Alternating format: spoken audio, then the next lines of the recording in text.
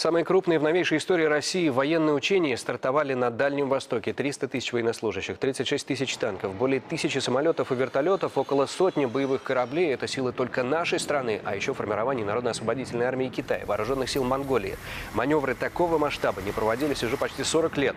Нынешние они, кстати, носят название «Восток-2018», продлятся неделю. Наиболее динамичная фаза развернется на полигоне Цугол.